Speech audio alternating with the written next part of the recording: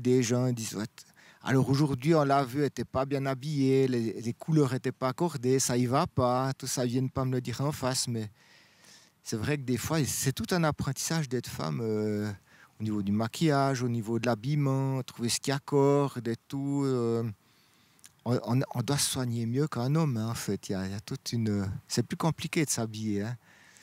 Est-ce que les gens maintenant chez vous dans le Val de Travers vous appellent toujours Diane?